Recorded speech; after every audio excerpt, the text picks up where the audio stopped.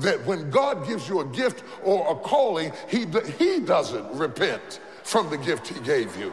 He doesn't change his mind about the gift he gave you. He doesn't change his mind about the call on your life. He will call you. I don't care if you're in a strip club. The call is still on your life. He said, I still want you in your rightful place. Oh, y'all don't hear what I'm saying?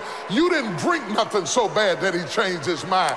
You didn't fornicate so bad that he changed his mind. If he called you, the eternal God took your past, present, and future in consideration when he called you. Anybody else calls you and they might change their mind because you did something they didn't expect. But God saw the end from the beginning. Oh, y'all don't hear what I'm saying.